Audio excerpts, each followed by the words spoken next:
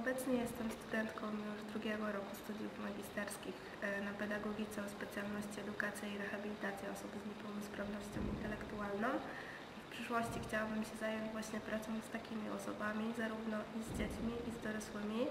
I chciałabym również skończyć muzykoterapię, chociaż już dużo bardzo o niej czytałam i wiem, że muzyka może rozwinąć, może dać e, po prostu ludziom chwilę szczęścia, ponieważ w niektórych zespołach jest wielkie napięcie mięśniowe, które można właśnie e, rozluźnić poprzez muzykę. W wielu zespołach jest tak, że e, dzieci mają tak głębokie upośledzenie umysłowe, że nie potrafią komunikować się werbalnie, a muzyka jest jednym ze środków przekazu, za pomocą którego mogą wyrazić prawdziwe swoje emocje i nikt ich nie będzie oceniał, ponieważ o to chodzi w muzyce. Jest to nasza swobodna ekspresja, którą my sami wyrażamy i sami jesteśmy szczęśliwi z tego, że udało nam się tak, a nie inaczej to przekazać.